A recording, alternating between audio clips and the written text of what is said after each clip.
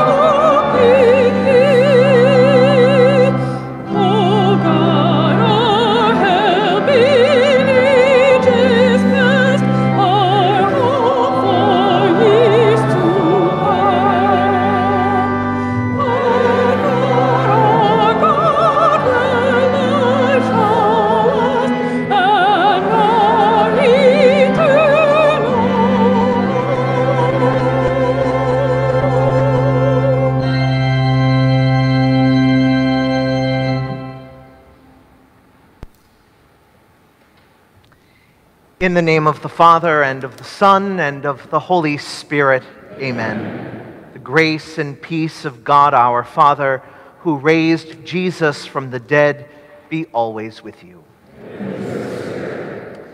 My name is Father Nick DeSimone, and as pastor here of St. Mary's Parish, I welcome you as we pray in vigil for our brother priest, Father Dennis O'Brien confident that God always remembers the good we have done and forgives our sins. Let us pray that the Lord might gather Father O'Brien to himself.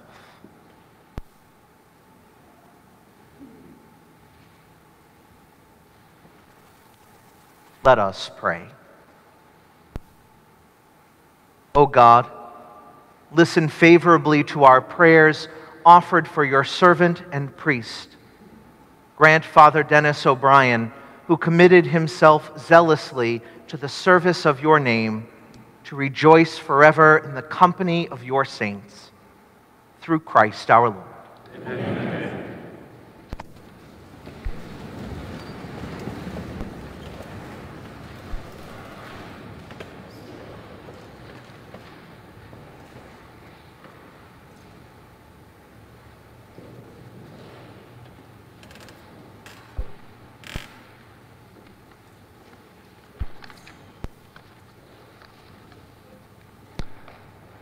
A reading from the second letter of St. Paul to the Corinthians. We know that if our earthly dwelling, a tent, should be destroyed, we have a building from God, a dwelling not made with hands, eternal in heaven.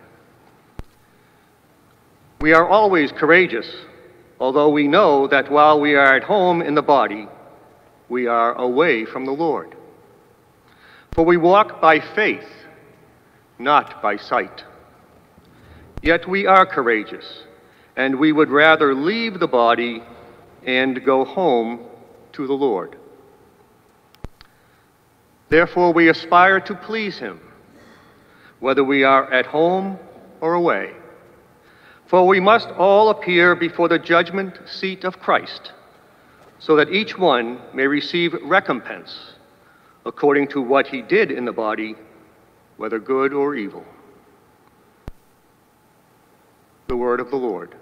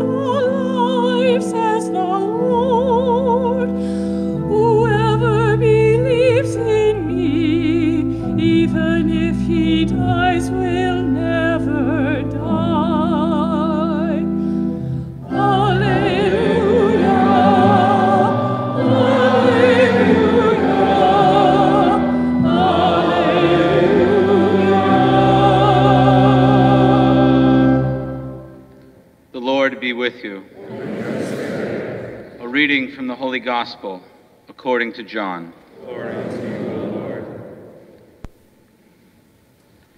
After Jesus had revealed himself to his disciples and eaten breakfast with them, he said to Simon Peter, Simon, son of John, do you love me more than these? Simon Peter answered him, Yes, Lord, you know that I love you. Jesus said to him, Feed my lambs.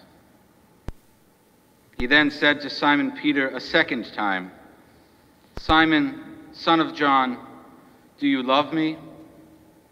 Simon Peter answered him, Yes, Lord, you know that I love you. He said to him, Tend my sheep. He said to him a third time, Simon, son of John, do you love me? Peter was distressed that he had said to him a third time, Do you love me? And he said to him, Lord, you know everything. You know that I love you.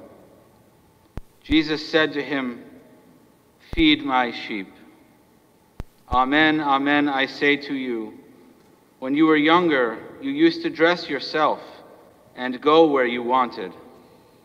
But when you grow old, you will stretch out your hands, and someone else will dress you and lead you where you do not want to go. He said this, signifying by what kind of death he would glorify God. And when he had said this, he said to him, Follow me. The Gospel of the Lord.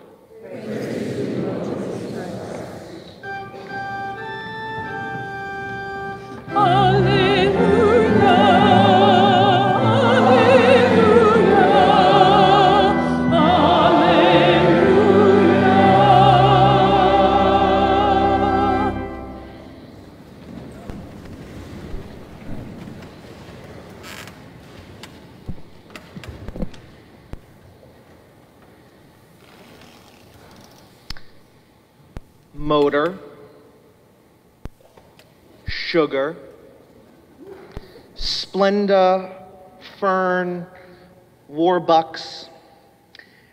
Father Dennis had nicknames for most everyone, which he claimed he never invented, only perpetuated, and that often landed him in trouble. While boarding a plane, I mentioned to Father Dennis that I would be sitting with Motor. When Dennis arrived at his seat and discovered that he was sitting with the one whom he had nicknamed the Weed, he yelled to me across the crowded plane, I've got the weed.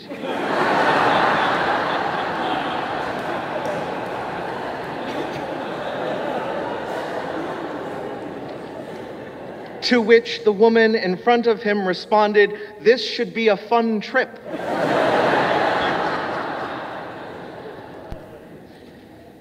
Father Dennis's affinity for nicknames was ironic, especially since he himself desperately tried to avoid any nicknames when choosing his own religious name as a monk of Spencer Abbey.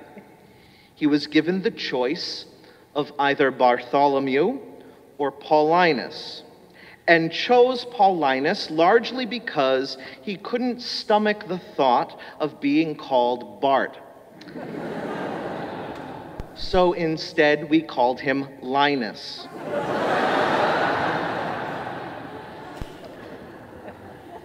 Little did he know how fitting a name Paulinus would be.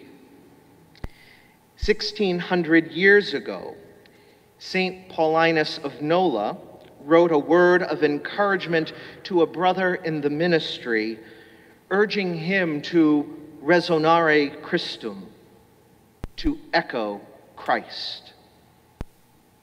These words struck me initially because the earliest memory that many of us have of Dennis is his booming laugh, a guffaw so profound that it resonated down corridors and through walls and across offices.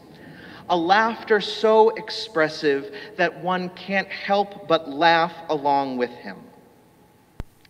But more profoundly, these words of St. Paulinus to echo Christ are reflective of the life of priestly service to which Dennis was called even from his youth.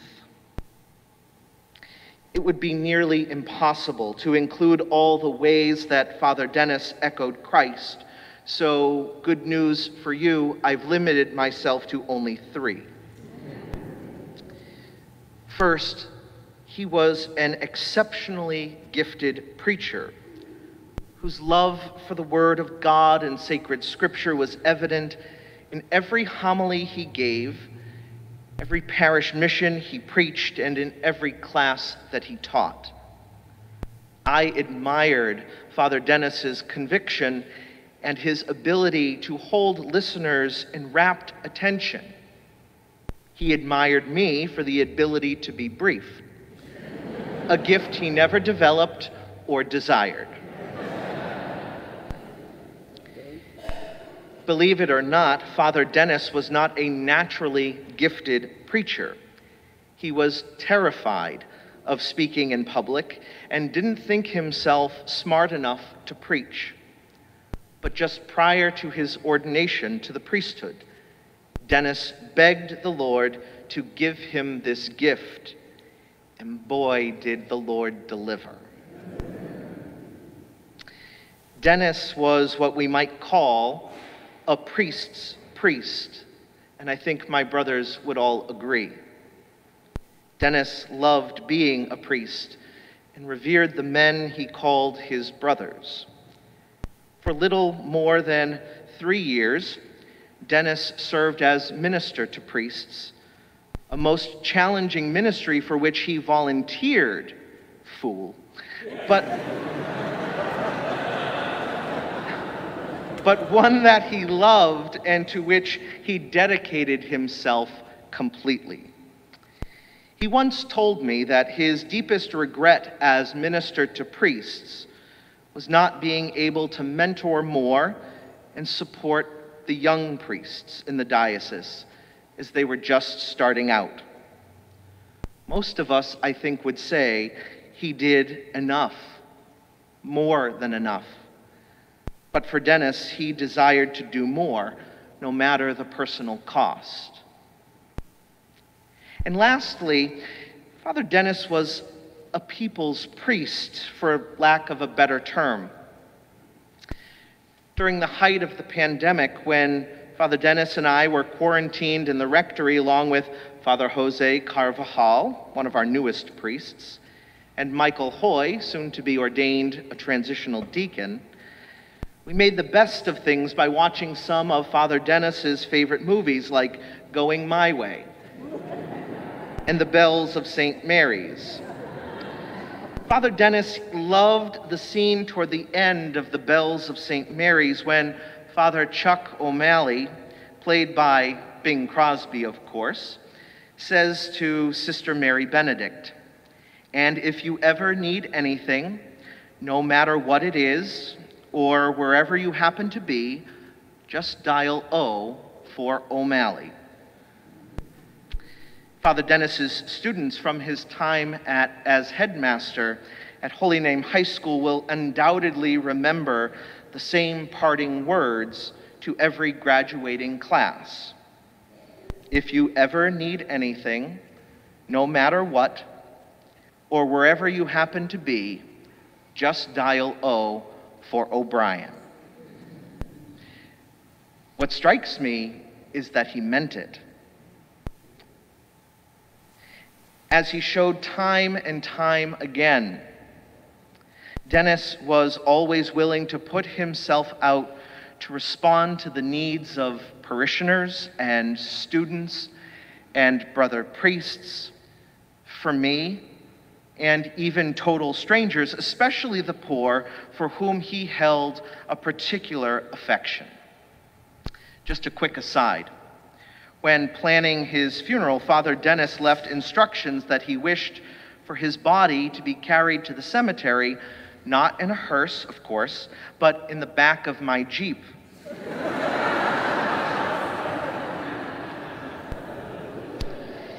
he noted, and I quote, no hearse. I'm serious. Please don't waste good money that can be donated to charity. Well, rest easy, pal. I asked the funeral home, and they assured me they aren't charging you for the hearse.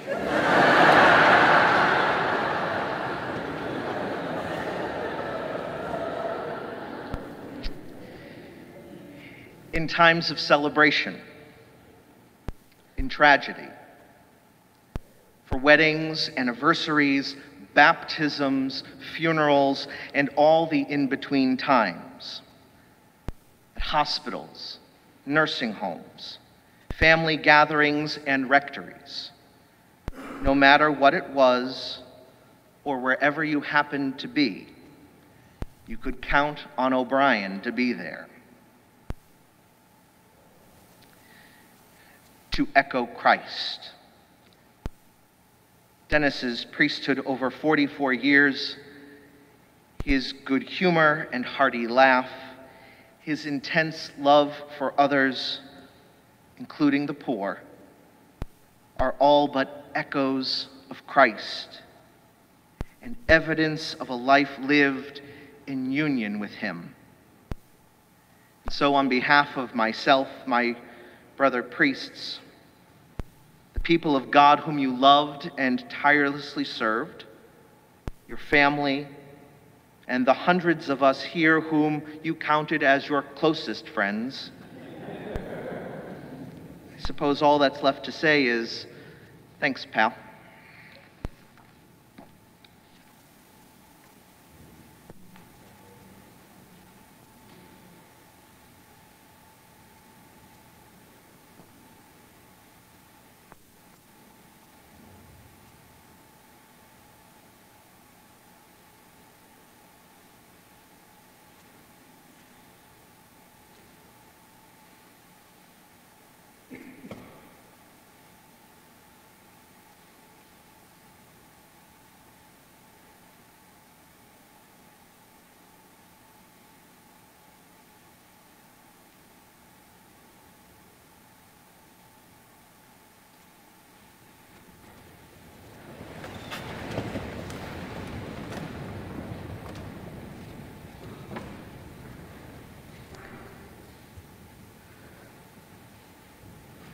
Let us turn to Christ Jesus with confidence and faith in the power of his cross and resurrection.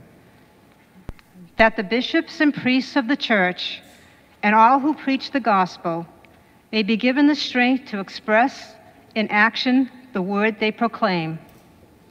We pray to the Lord. Lord, hear our prayer. That those in public office may promote justice and peace we pray to the Lord.